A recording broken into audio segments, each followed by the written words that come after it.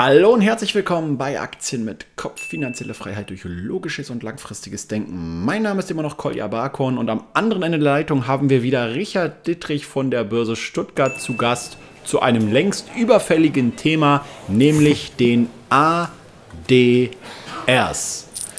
Ja, viele Leute, die sich zum Beispiel Aktien wie die Alibaba Group oder Samsung kaufen, die wissen vielleicht gar nicht, dass sie eigentlich sogenannte American Depository Receipts kaufen, die eigentlich gar keine, ja, genau per Definition Aktien sind, sondern Zertifikate.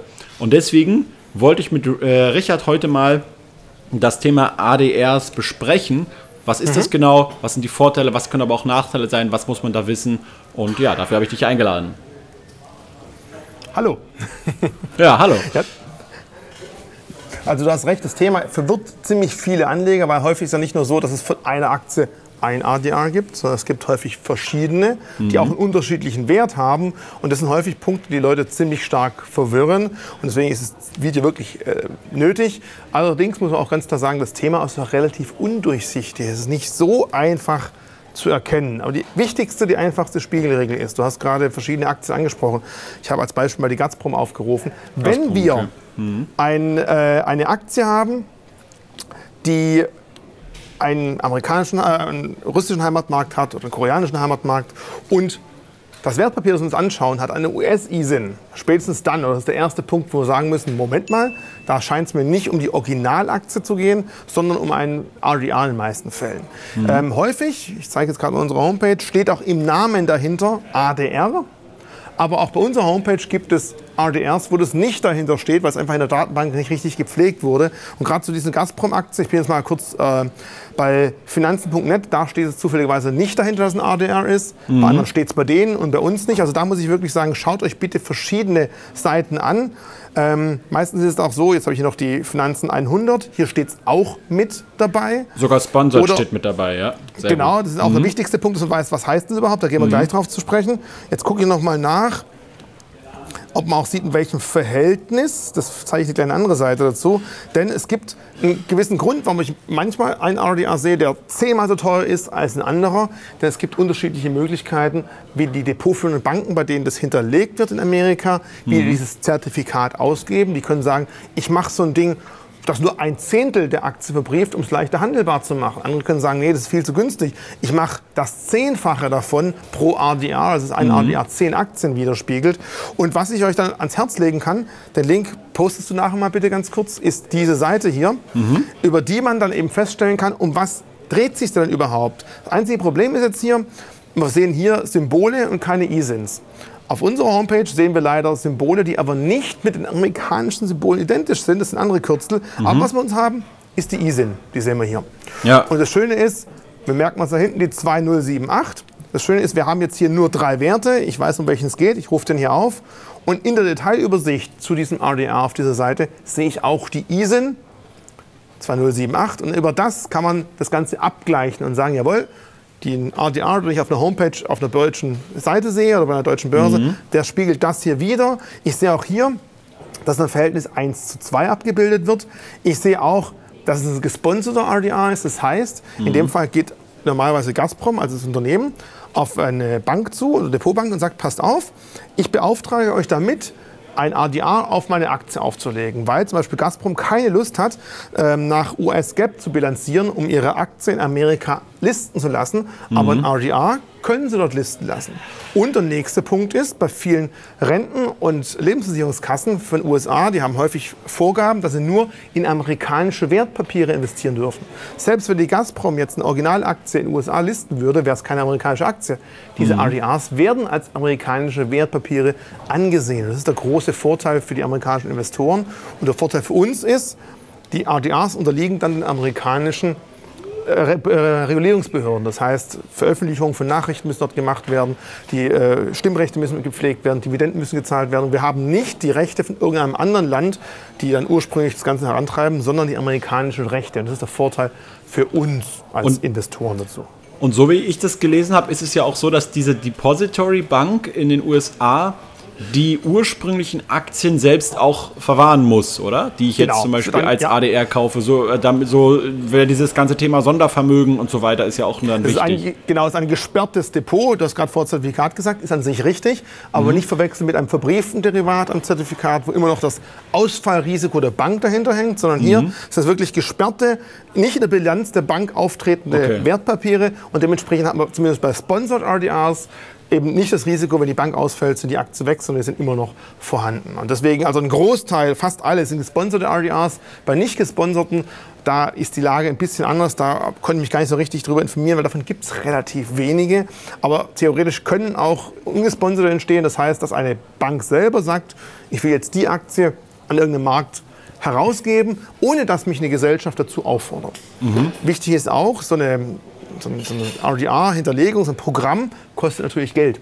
Ja. Das heißt, häufig ist es so, dass das Unternehmen, bei der Gazprom zum Beispiel, das im Großen und Ganzen bezahlt, damit eine Bank und die Depotbank das auch machen. Es kann aber auch sein, dass zum Beispiel in den Bedingungen drin steht, ja, und bei der Dividende bleiben 0,05 Prozent bei der herausgebenden Bank hängen als Gebühr dafür. Das kann auch sein. Problem Okay. ist nur, das kann man sehr, sehr schwer einsehen. Und selbst über die Seite habe ich jetzt keine richtige Möglichkeit gefunden, wo ich feststellen kann, ist es so, ja oder nein. Da ist man also meistens ziemlich im Trüben ein bisschen und kann da relativ wenig erkennen, ob das beim RDR der Fall ist oder nicht. Also ich habe es nicht rausfinden können und das ist wirklich die beste Seite, die ich Ja. auftun konnte. Da sieht man zumindest mal, welche Bank das Ganze hinterlegt, aber mehr, ob es da wirklich einen finanziellen Anreiz für die gibt, sieht man da drin leider nicht. Das kann man nicht ersehen. Gut, schlussendlich zahlt man als Aktionär des Unternehmens das dann sowieso. Wenn das Unternehmen das zahlt, ja, habe ich halt weniger richtig. Gewinn. Auch, auch wieder wahr, richtig. Also wenn das Unternehmen es ganz übernimmt, dann fließt es halt da hinten weg. Das ist Ja. auch wieder wahr. Also irgendwo fließt es ab. Aber der Vorteil ist einfach, dass man so Wertpapiere investieren kann in einem relativ gut regulierten Markt, die sonst recht schwer handhabbar sind. Okay. Das letzte Risiko, das man aber durchaus bewusst sein muss, ein RDR-Programm kann auch eingestellt werden. Das heißt also, wenn die Bank sagt, oh, oder die Gesellschaft, liebe Bank, das machen wir jetzt nicht mehr, Aktie bitte zurück, das Ganze einstellen, dann gibt im Normalfall die Bank das bekannt, die depotführende Bank, also nicht eure depotführende Bank, sondern die Bank, bei der die Aktien hinterlegt sind, diese Depotbank gibt es bekannt. Depository Bank, ja. Genau, richtig. Und die sollten es dann hoffentlich irgendwie die Information bis zu eurer Bank schaffen, damit ihr das auch mitbekommt. Wenn wir das als Börse mitbekommen, dass dann ADR-Programm eingestellt wird, dann gehen wir dazu über, bereits eine Bekanntmachung zu veröffentlichen und sagen, an dem, dem Tag wird das Wertpapier bei uns delistet, dann könnt ihr es bei uns nicht mehr handeln. Und man sollte ganz klar dann bei solchen Informationen darauf achten, dass wenn man die Information bekommt, sich von der Aktie rechtzeitig trennt, weil wenn die Wertpapiere nicht mehr in dem Depot liegen, hat man manchmal ein bisschen Scherereien, da irgendwann wieder ranzukommen. Also deswegen bei RDRs muss man nicht nur die Aktie selber im Blick haben, sondern auch muss hinterlegen oder schauen, was passiert denn, wenn diese RDRs, dieses Programm eingestellt wird. Ist jetzt nicht häufig der Fall, aber ist so ein kleines Restrisiko, das man eben bei der Aktie selber nicht hat, hier aber durchaus zum Schlagen kommen kann. Ähm, Wenn es aber eine große Depotbank ist, die das verwahrt, dann ist das eigentlich relativ problemlos. Man kriegt das mit und hat dann vier Wochen Zeit zu reagieren und die Wertpapiere zu verkaufen.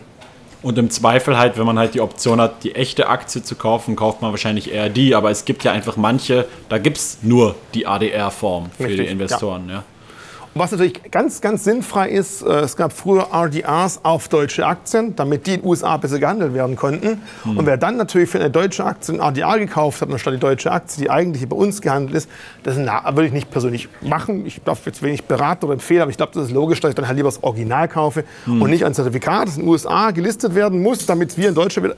Ist blödsinnig. Ja. Also da sollte man schon darauf achten, bin ich auch der Meinung, nach Möglichkeit, wenn man rankommt, wenn der Markt liquide ist, wenn die Regulatoren äh, gut sind, die Original zu kaufen. Ansonsten muss ein RDR nicht unbedingt negativ sein. Man muss aber einfach verstehen, was habe ich da und warum sind die Preise vom RDR oft unterschiedlich zur eigentlichen Aktie.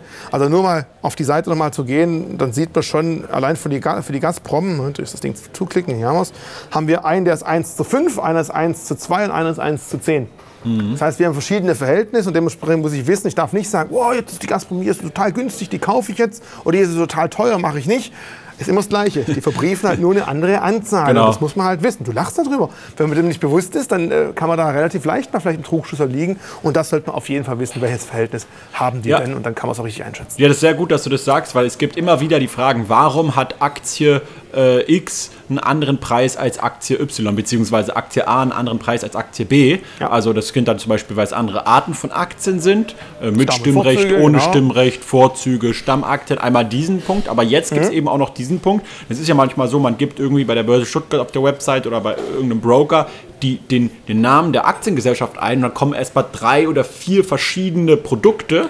Ähm, und da, wenn man jetzt weiß, ah, da sind ADRs mit unterschiedlichen Preisen, dann könnt ihr eben auf dieser Seite DR Directory nachschauen und gucken, wie ist dann dieses Verhältnis. Ja? Und dann ist es halt schlussendlich äh, euch selbst überlassen. Äh, vielleicht, für, vielleicht für einen Sparplan einfach eine Sache, dass ich sage, wenn die sparplanfähig sind, dass ich irgendwie natürlich dann bei einem, bei einem äh, geringen Sp Sparplanquote äh, natürlich das Bezugsverhältnis nehme, was, was halt die Handelbarkeit ermöglicht. Ja.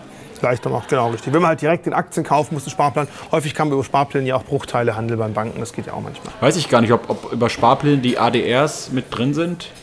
Habe ich mir auch noch nicht angeschaut, ehrlich gesagt. Müsste man mal gleich Wüsste äh, noch gucken. Ne? Vielleicht im Ja. Nachtrag vielleicht noch ranhängen, ich wüsste es nicht, aber ich denke, das ist jetzt ein relativ kurzes Video, aber wichtig ist, dass man, wenn man auf RDRs stößt, deswegen nicht erschrecken muss. Man muss halt nur wissen, wie so häufig, was habe ich da, wo sind die Unterschiede zu einer Aktie, wie sind die Unterschiede von einem RDR vielleicht zum nächsten aufgestellt und jetzt weiß man auch, warum das Ganze gemacht wird, wie gesagt, damit die Produkte die nicht amerikanische Titel sind, von amerikanischen Renten- und Lebensversicherungen besser handelbar sind und dass die Unternehmen, die gerne am amerikanischen Markt handelbar sein möchten, sich aber nicht nach amerikanischen Bilanzierungsgesetzen halten müssen, sondern das Ganze weiterhin betreiben können, wie sie es bisher auch machen. Also der Aufwand Ja. fürs Unternehmen wird dadurch auch geringer bleiben. Jetzt stand bei Wikipedia noch über ADRs, dass irgendwie der Inhaber äh, das Recht hat, bei der Depository Bank die ursprünglichen Aktien anzufordern, dass die dann übertragen werden müssen. Weißt du dazu was?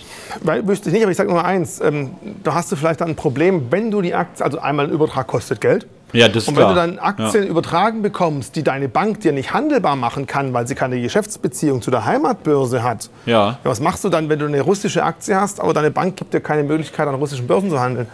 Ist Dann vielleicht möglich, dass es geht, aber weil es einfach theoretisch relativ unlogisch und unnütz ist, habe ich Hm. mir darüber gar nicht groß Gedanken gemacht, weil wenn meine Bank mir die Möglichkeit gibt, dass ich die Originalaktie an der Heimatmarktbörse handeln könnte, könnte ich das vielleicht tun. Wenn ich mir aber über ein RDR die Aktien ausliefern lasse, die habe ich dann im Depot vielleicht Mhm. für teuer Geld, die Umbuchung kostet Geld. Wenn ich damit aber nicht die ursprüngliche Heimatbörse, Ja, ja, schon klar. Seoul oder sei es jetzt äh, in Moskau, Mhm. nicht erreichen kann, dann bringen wir die Aktien auch recht wenig. Aber ja, ich habe sicherlich einen Herausgabeanspruch, das kann durchaus sein. Weil Dann die verbriefen die ja für mich Wallet. die Aktien. Ja, super. Wenn es mal so weit kommt, schauen wir mal, was daraus wird. Ja, Aber da arbeitet ja. Jetzt, Frank Thelen arbeitet ja ran, hat er gesagt im Podcast, ja. willkommen, wir auch. Er, er, er kann es nicht verstehen, er kann es nicht verstehen, dass Equity äh, äh, an Börsen gehandelt wird, hat er gesagt. Ja, ich sag mal, regulatorisch äh, sind wir noch lange nicht so weit, wie wir technisch wären, aber jetzt sind wir wieder beim Thema ICOs zum Beispiel. Ja, ja. Vielleicht wird man in ein paar Jahren da weniger Probleme haben. Nur Stand jetzt muss man immer gucken, wo ist meine Aktie verwahrt und hat Mhm. meine jetzige Bank Geschäftsbeziehung zu einer Börse irgendwo im Ausland und kann die dorthin schicken. Also man muss sich vorstellen, wie halt verschiedene Wanderwege und wenn man halt keine Strecke von A nach B findet, dann kommt das Ding halt dort nicht an. Ja, nee, Und dann macht es keinen Sinn, sich das ausliefern zu lassen. Dann Zumal, ja, und dann zumal wahrscheinlich das auch einiges kosten wird, kann ich mir vorstellen. Genau, richtig. Ja. Allein schon die Auslieferung von USA Ja. zu uns hierher, das ist ja schon relativ teuer. Und dann sitze ich hier auf einer Aktie, die ich nicht handeln kann. Das macht dann auch wenig Sinn. Okay. Ja, dann haben wir Super. mal so ein paar wichtige Punkte zu ADRs zusammengefasst. Ihr wisst nun, es sind keine echten Aktien, aber trotzdem habt ihr jetzt nicht das Risiko wie bei einem verbrieften äh, äh, Zertifikat, wo dann Genau. irgendwie der Emittent ausfallen kann und so weiter. Und von daher, ja, Handelbar. In- Funktioniert. informiert euch und bildet euch weiter und bis zum nächsten Mal. Rationale Grüße.